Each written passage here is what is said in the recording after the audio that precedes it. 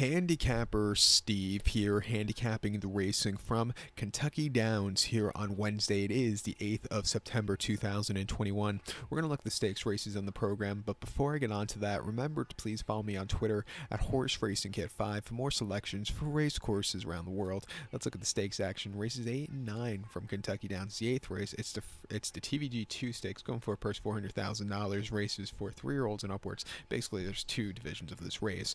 Uh, so they split it. We have a field of 10 horses going one lap around the, uh, or excuse me, the distance of ground here of 1 mile and 70 yards on the turf course. Mile 70 here in TVG2. And I have to admit, I don't really watch TVG that much anymore.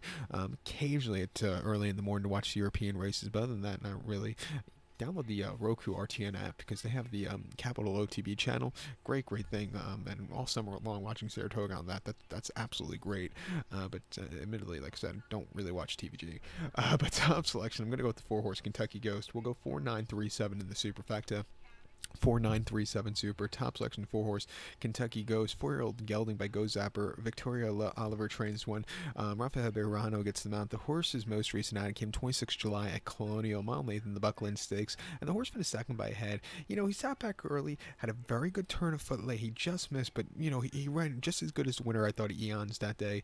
Coming here off some very decent Beyer numbers, back to Kentucky Downs where he's run very well in the past, I think he could really get a good race. Also, drawn well in this turf course, which you need. Two back ran the Wise Dan at Churchill, mile on the 16th on the 26th of June. Finished fifth by two and a quarter lengths there, and you know he just had a little bit of a trouble trip. He closed up well late, you know.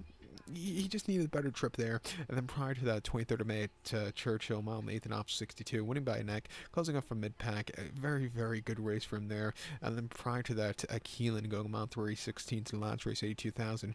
He uh, finished second by nose again. He, he just couldn't get there late, you know. He just couldn't get the nose bob.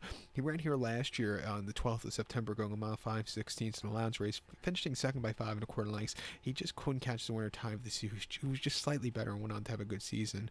Um, 8 to 1, let's use him here today. To recount my selection for the 8th from Kentucky Downs to TVG2, let's take the 4 horse Kentucky Ghost 4937 in the Superfecta to race number 9 the ninth race from Kentucky Downs. It's the TVG Stakes going for a purse $400,000, race for three year olds and upwards. We have a field here of 11 horses going to the turf course again, the distance of ground of 1 mile and 70 yards. Mile 70 here in the TVG my top selection, we're going to go with the number 9 horse. The number 9 horse, who is Bob and Jackie. 9187 in the Superfecta. 9187 Super. Top selection 9 horse, Bob and Jackie. 5 year old horse by Twirling Candy. Richard Baltas trains. John Velazquez gets the mount. The horse's most recent outing came 20th of August at Del Mar. Mile 16th and optional 100. And the horse finished second by 2 and a quarter lengths. He was with them early on, had a little bit of a trouble trip around the uh, far turn, but, you know, had a decent turn of foot. But coming here to um, Kentucky Downs, where you should see a very good pace to close with, I think he really run a good race. Two backer in the Wickerr Stakes at Del Mar, one mile July the 18th, and he finished fifth by two and a quarter lengths. And he was with them early on. Again, and he just couldn't keep up.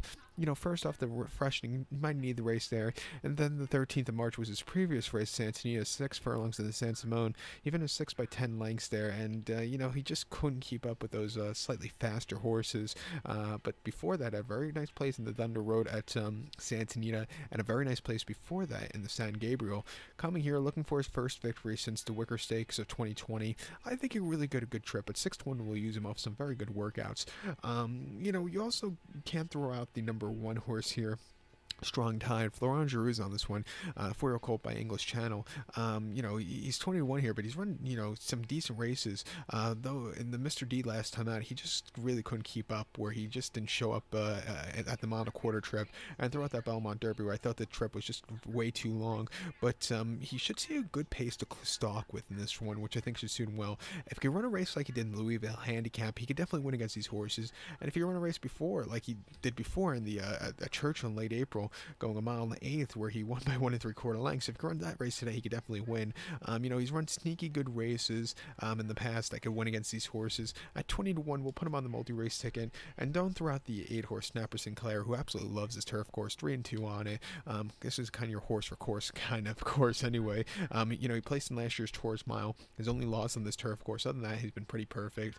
Um, getting a second off the bench back from uh, Dubai. Uh, most recently ran the open verse where the horse had a very nice place. You know, another horse at 5 2 who could definitely get the job done, so we'll use him on the ticket. But to recount my selection for the ninth from Kentucky Downs, it's the TVG. Let's take as a top selection the number 9 horse Bob and Jackie. We'll give kudos to the 1 horse Strong Tide and the 8 horse here, Snapper Sinclair, 9187 Super, 918 in your multi race. So good luck to them. Please follow me on Twitter at Horse Racing Kid 5. Good luck, everybody.